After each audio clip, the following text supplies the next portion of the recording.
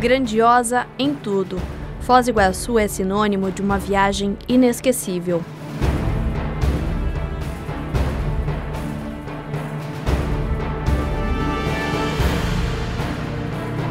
Durante a passagem por Foz do Iguaçu, a parada é obrigatória em Cidade do Leste, no Paraguai, um dos maiores centros de compras do mundo. Em menos de meia hora estamos em Porto Iguaçu, na Argentina. Aqui é possível desfrutar de uma excelente gastronomia. A variedade de vinhos e queijos encanta o paladar de quem não abre mão de conhecer cada cantinho da Tríplice Fronteira. Aqui, a diversão também é encontrada nos cassinos.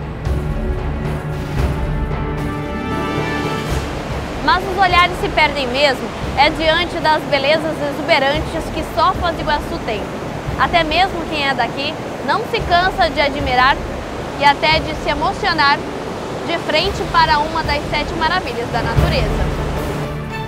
O Parque Nacional do Iguaçu protege uma riquíssima biodiversidade, inclusive algumas espécies de animais em extinção, como a onça pintada, Pequenas e grandes belezas dividem espaço de maneira harmoniosa. A vazão média das cataratas do Iguaçu é de 1 milhão e 500 mil litros de água por segundo. Olhando de baixo a de cima, o conjunto de 275 saltos d'água dispensa narração.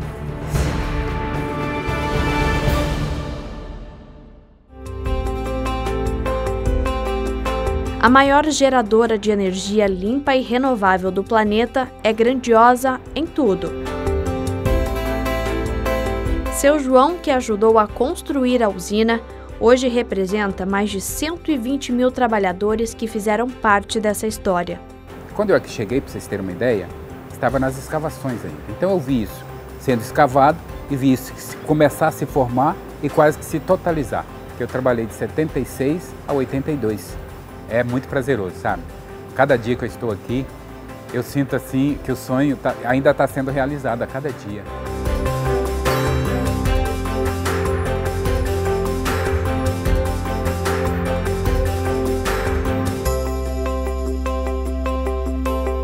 Com 11 anos a mais que a emancipação de Foz do Iguaçu, o Marco das Três Fronteiras guarda muitas histórias.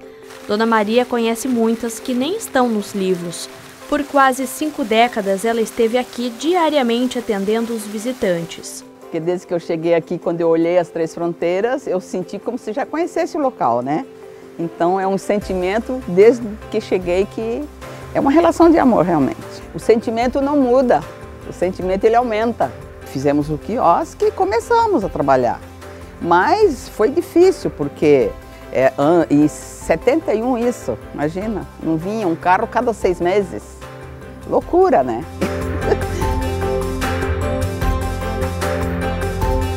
Aqui, a natureza não é mero detalhe, pelo contrário, os cenários mais parecem ter sido pintados à mão.